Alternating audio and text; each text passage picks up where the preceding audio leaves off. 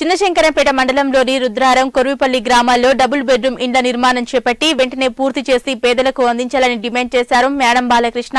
దసరా రోపు పేదలకు double bedroom ఇండ్లు ఇవ్వకపోతే కాంగ్రెస్ పార్టీ ఆధ్వర్యంలో పెద్ద ఎత్తున ఆందోళన కార్యక్రమాలు చేపడతామని హెచ్చరించారు.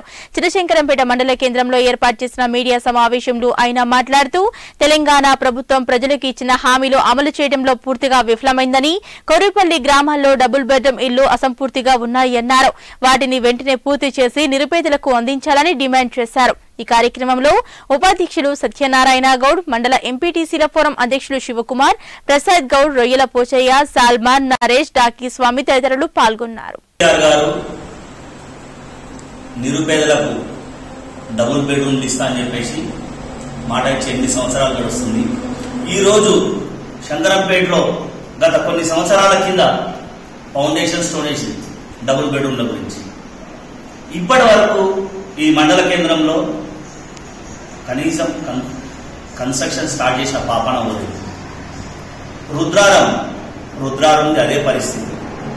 కొరిపల్లి కొరిపల్లిలో కొన్ని కన్స్ట్రక్షన్ అయినాయి అవి అసంపూర్తిగా ఉన్నాయి. మీకు సొంత జాగాలు ఉంటే మూడు లక్షలు ఇస్తాను ఒకరు అంటారు ఐదు లక్షలు ఇస్తాను ఒకరు అంటారు లాంటి వాళ్ళకి సోయి ఉండదు శుద్ధి ఉండదు. మా అమ్మ ఒకటి మాట్లాడతారు అల్లుడు ఒకటి మాట్లాడతారు ఈ ఎమ్మెల్యే ఒకటి మాట్లాడతారు. అసం అసంపూర్తిగా ఉన్న డబుల్ బెడ్రూమ్ తొందరగా కంప్లీట్ చేయాలి.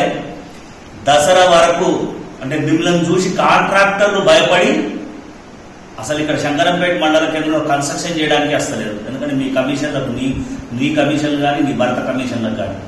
ఇన్ని సంవత్సరాలైనా కనీసం అక్కడ స్టార్ట్ అయిన పాపాన అవుతలేదు